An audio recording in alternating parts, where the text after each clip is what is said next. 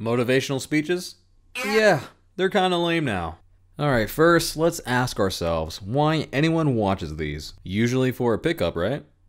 Creating a sense of energy, motivation, guidance, whatever you need at that time. But does anyone truly listen to the overall message and apply it?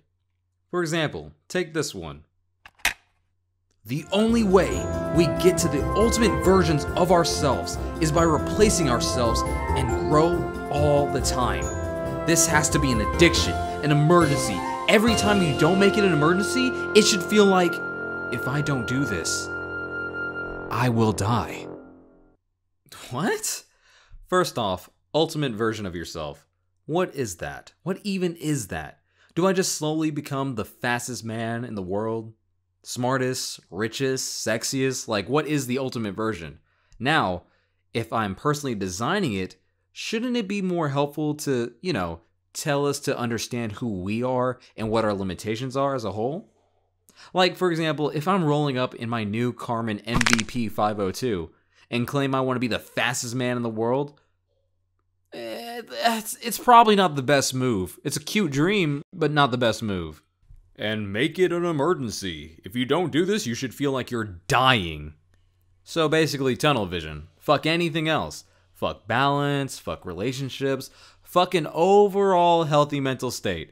If those things are in your way to attend to your pseudo emergency, you know what you need to do. What? It's not like you're going to choose death, duh.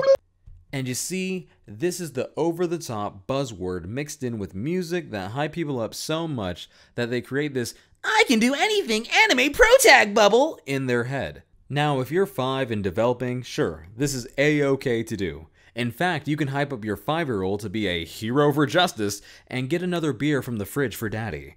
But if you're at the end of your development phases, these speeches are just fanfare at best. Because if you look at some of them, you can find they're just trying to promote, sell, sign up for whatever class or book they have on file. Psst, no shade though, if people are buying, keep going, my guy. Brought to you by NoSKu and Economics 101. And to wrap it all up, personally, most often than not, people are just submitting other people's words and speeches. Now, if you're not making the material, aka performing it yourself, I don't want to hear it. In fact, motivational speeches are so weird at this point, anyone can make it. Just keep it bare bones, don't apply it to your reality, add music, and you're good to go.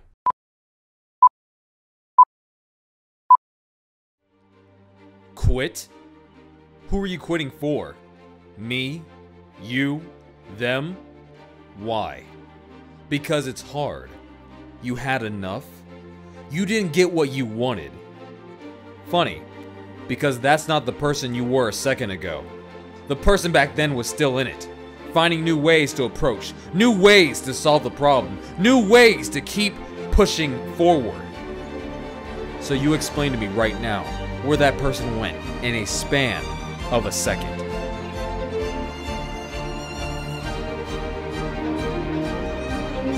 Because let me tell you, the city of Rome didn't quit. The sun didn't quit the ocean, the air you breathe, did not quit, and we appreciate them to this day for their efforts. So go ahead, quit doing drugs, quit being an alcoholic, quit being an abusive person. But in the end, you'll never be appreciated if you quit now. Hmm. It's ironic. Although you uttered that word, it's never too late to go back. All it takes is a second. Right?